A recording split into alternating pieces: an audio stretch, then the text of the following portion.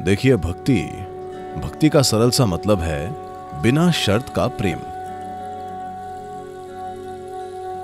हम भगवान को एक वस्तु के रूप में इसीलिए स्थापित करते हैं, ताकि आप प्रेम करने की प्रक्रिया में उलझ कर ना रह जाएँ। ऐसा नहीं है कि आपके बगल में बैठे व्यक्ति से प्रेम करना किसी भी तरह भगवान से प्रेम करने से कम है पर आपकी समस्या ये है कि अगर आप आपके बगल के व्यक्ति से प्रेम करना शुरू कर देते हैं तो आप उस व्यक्ति के साथ हर तरह की उलझनों में पड़ना शुरू हो जाते हैं। इसीलिए भक्ति योग ने अपनी भक्ति का फोकस किसी दूसरी चीज़ पर किया है, ताकि आप उलझे नहीं। तो भक्ति चाहे आपके आसपास के लोगों के लिए हो, आपके चारों ओर के संसार के लिए हो या आपके आसपास एक व्यक्ति के लिए हो या आपके गुरु के लिए या आपके भगवान के लिए हो ये बिंदु नहीं है। भक्ति की वस्तु महत्वपूर्ण नहीं है। महत्वपूर्ण है आपकी भावनाओं की तीव्रता। ये इस बारे में है कि आप कितनी तीव्रता महसूस कर सकते हैं।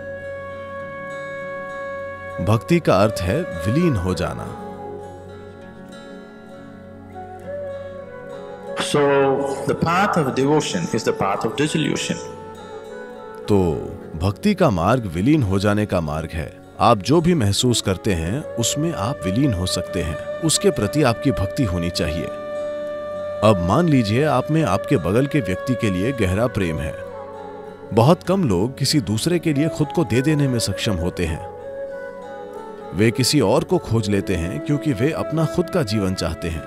हाँ? तो इस तरह का प्रेम प्रसंग बहुत ज़्यादा भलाई नहीं करेगा। यह सिर्फ़ आपको उलझाएगा। इसलिए आप एक गुरु या भगवान को चुनते हैं, क्योंकि अगर आप उलझने के इच्छुक भी हों तो भी वे आपके साथ उलझने के इच्छुक नहीं हैं। ये एक सुरक्षित प्रेम प्रसंग है। क्योंकि अगर आप उलझने की कोशिश भी करते हैं तो भी वे आपके साथ नहीं उलझेंगे।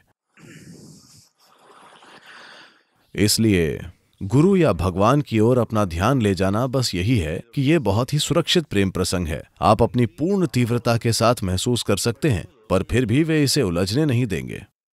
ठीक है? वरना, चाहे आप अपने कुत्ते से प्रेम करें या भगवान से, ये अलग नहीं है। ये आपकी भावनाओं की गहराई है जो महत्वपूर्ण है। आप किससे प्रेम करते हैं, ये मुद्दा बिल्कुल भी नहीं है। अब, आपकी भावना में ज़बरदस्त तीव्रता लाने के लिए। आपको एक वस्तु की ज़रूरत है जिसकी ओर आप देख सकें। कुछ ऐसा जिसकी ओर आप खुद से ऊँची भावना में देखें। सिर्फ़ तभी आप अपने आप में उस तरह की तीव्रता ला सकते हैं। उसी समय अगर यह बहुत ऊँचा हो जाता है तो कोई प्रेम नहीं करेगा, सिर्फ़ श्रद्धा होगी। तो आमतौर पर, गुरु एक ऐसी भूमिका निभाता है जहाँ एक समय वो वहाँ ऊंचाई पर होता है दूसरे समय वो बस आपकी तरह होता है। इसलिए आप हमेशा कंफ्यूज रहते हैं। आप समझ नहीं पाते कि उनको मनुष्य माने या भगवान। तो ये एक अच्छा कॉम्बिनेशन है, क्योंकि अब आप उसे एक इंसान के रूप में प्यार कर सकते हैं, पर उसी समय उसे ऊपर रखकर उसकी ओर देख सकते हैं।